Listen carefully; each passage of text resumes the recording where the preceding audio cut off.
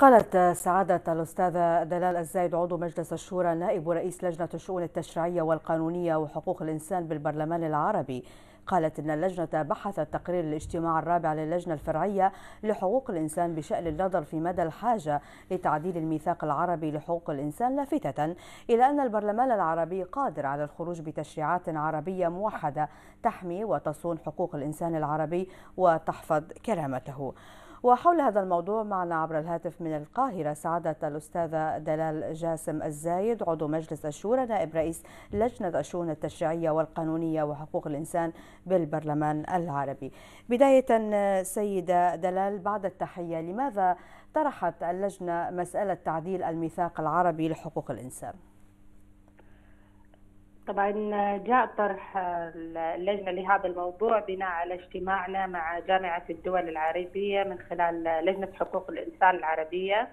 وتم استعراض الميثاق العربي ووجدنا بعد دراسات تمت من خلال البرلمان ومن خلال الجامعة العربية إلى ضرورة بحث تعديل الميثاق العربي بما يتفق مع التطورات الراهنة وأيضا بما يتفق مع عدد من التعديلات الدستورية التي مرت فيها الدول العربية نعم بحيث إنه ينعكس هذا الاهتمام في مجال حقوق الإنسان وفق منظومتنا ورؤيتنا العربية في تشريعاتنا وكفالة وسائل الانتصاف من خلال توفير الحماية القضائية م.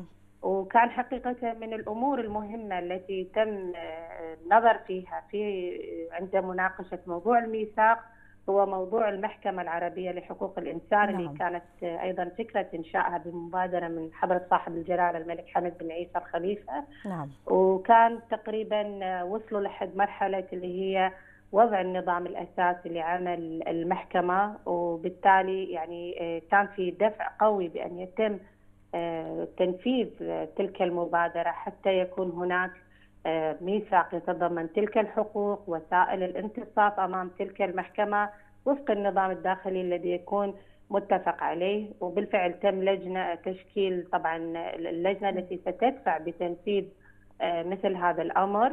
وإحنا طبعا في اللجنة المختصة وضعنا هذا أيضا أمام جلسة البرلمان العربي من ضمن التقرير المرفوع.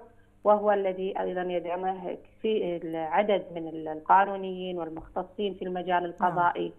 في الوطن العربي. نعم لو تفضلي. لا تفضلي. نعم لو نتكلم بما يتعلق بمملكة البحرين هل نفذت المملكة كل متطلبات حقوق الإنسان بالنسبة طبعا للميثاق العربي؟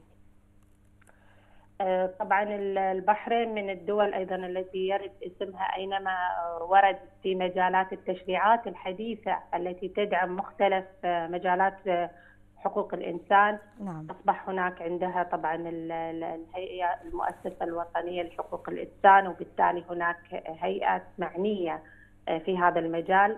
ثانيا يأتي موضوع هل كفلت حق الانتصاف وحق التقاضي؟ أيضا مكفولة بموجب التشريعات، هناك نعم. تشريعات حديثة صدرت تدعم وتسند تلك الحقوق. وبالتالي وجدنا أن عدد من التشريعات التي صدرت من البحرين أصبحت هي بمثابه القوانين الاسترشادية. لعدد من الدول التي طلبتها منا حتى يتم الاسترشاد بها عند سن تشريعات حديثة في مجالهم، يمكن إحنا استهدفنا أكثر شيء ما تم من تعديل في مسألة قانون العقوبات قانون الإجراءات الجنائية فكان هذه من الأمور أيضا اللي وضعت البحرين عدد من الأفعال طريقة التجريم فيها وضع العقوبات المناسبة نعم.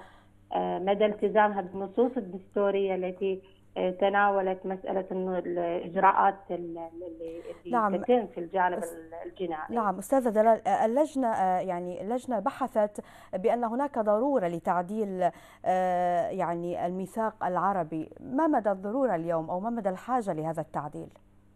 والله عندما قسنا وجدنا إن تشريعاتنا الوطنية أصبحت متقدمة في نصوص عدة من الميثاق، فبالتالي يعني التشريع الوطني أصبح في مرحلة أرفع من بعض نصوص الميثاق وهذه النقطة متفق عليها أيضا مع جامعة الدول العربية، فلذلك هذه طالما إحنا بنينا منظومتنا الخاصة كدول عربية بما يتناسب مع دساتيرنا العربية بما يصون حقوق وأفراد المواطن مواطن. العربي نعم. بالتالي نحن أيضا نسعى إلى أن إحنا نرتقي ونرتفع بما يتوائم مع طبيعتنا.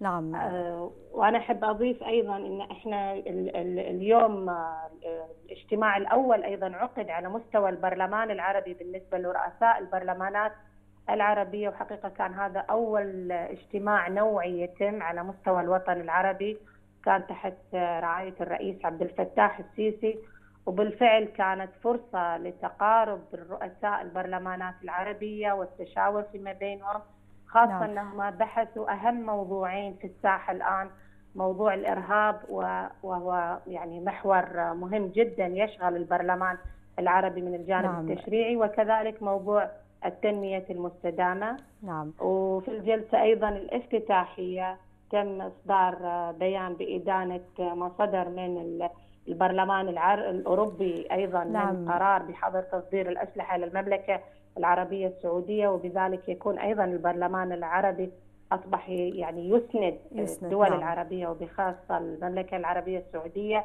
في مواجهة أي قرارات تصدر من مثيلاتها على المستوى نعم الدولي. نعم سعادة الاستاذه دلال جاسم الزايد عضو مجلس الشورى نائب رئيس لجنة الشؤون التشريعية والقانونية وحقوق الإنسان بالبرلمان العربي شكرا جزيلا لك.